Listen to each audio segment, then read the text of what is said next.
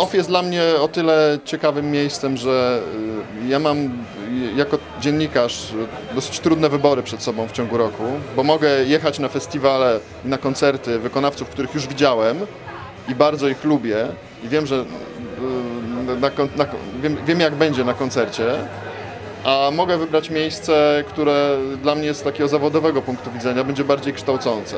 I, z reguły OFF jest miejscem takim tego drugiego, te- tego, drugiego rodzaju, czyli jest dla mnie kształcący, ponieważ y, większości wykonawców jeszcze nie widziałem, chociaż znam z płyt. Dogadałem się ze swoją konkubiną, proszę Ciebie, e, oraz rodzicami i opiekunkami, że będę mógł wyjechać na OFA. Bardzo się cieszę, bo właściwie byłem tylko dwa razy, na pierwszym i ostatnim.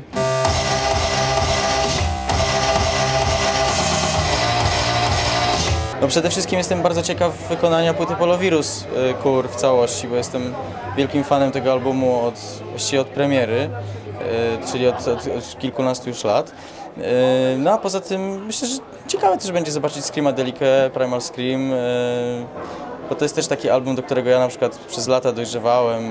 Kiedy go poznałem wiele lat temu, to nie do końca do mnie trafił tak potrzebowałem y, trochę czasu, żeby, żeby zrozumieć jego wielkość.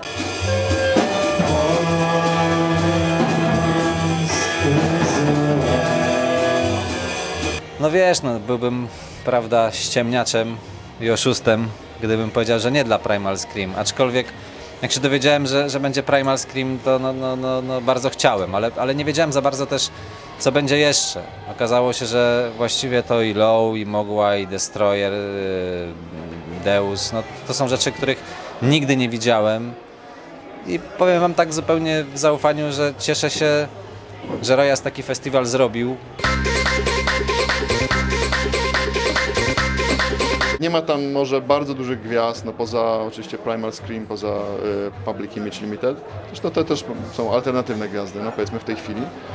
Y, Natomiast jest bardzo dużo y, wykonawców, z których można wyłowić coś ciekawego. I, i to jest taka bardzo silna grupa takich powiedzmy średniej wielkości gwiazd tej sceny alternatywnej, w której rzeczywiście ja odnajduję dosyć dużo rzeczy dla siebie, dosyć dużo takich no, psychodelicznych, awangardowych e, zespołów, które, które lubię.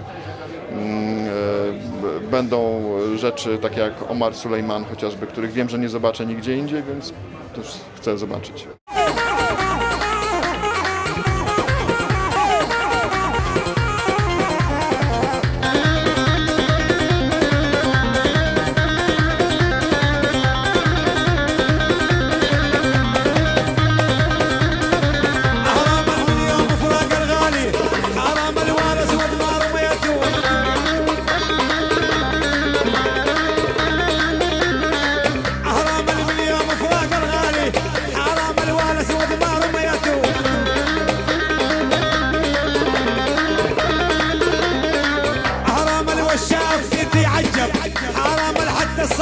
batido.